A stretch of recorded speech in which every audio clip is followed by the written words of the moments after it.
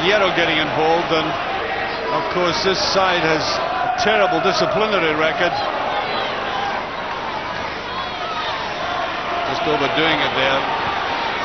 That's a bit of ball Milne inside. Robertson back. There's Gavin Rae! What a superb strike. Oh dear.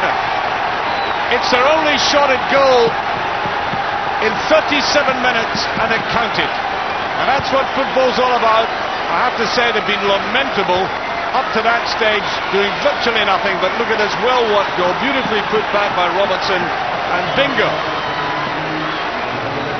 That's what it's all about, putting it in the back of the net. That's what Kelly, despite a lot of huffing and puffing, getting near goal, couldn't do. That's a great drilled shot. Red is best.